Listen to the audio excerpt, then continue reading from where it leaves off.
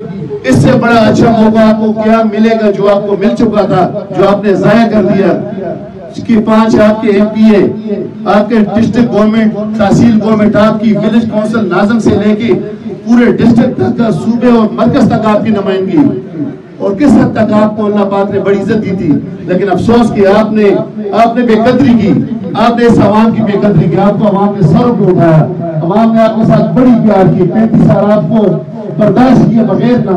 लेकिन आपको ये आपको ये मौका नहीं मिला कि आप आवाम के दिल से खिदमत करते।